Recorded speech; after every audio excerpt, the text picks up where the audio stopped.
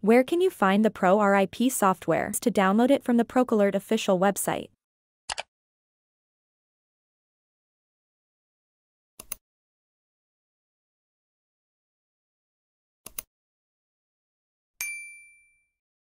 To install the software, first double-click to start.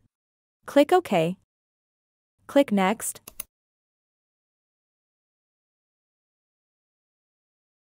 Then we finish the installation. Now we try to run the software and will be reminded that that a dongle is missing. Here's the point, you need to insert the blue dongle USB drive every time you use the software. Before starting to use the software, you need to perform 5 steps of setup. 1. Set the scale and language in the top right corner. 2. Set the canvas size.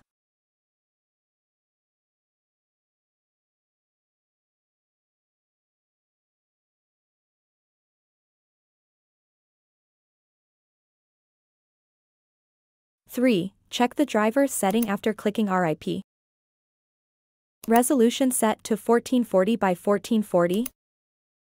And set two layer, base color for DTF printing.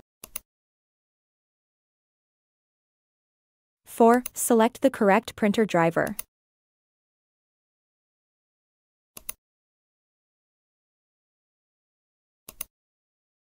Five, choose the correct color profile.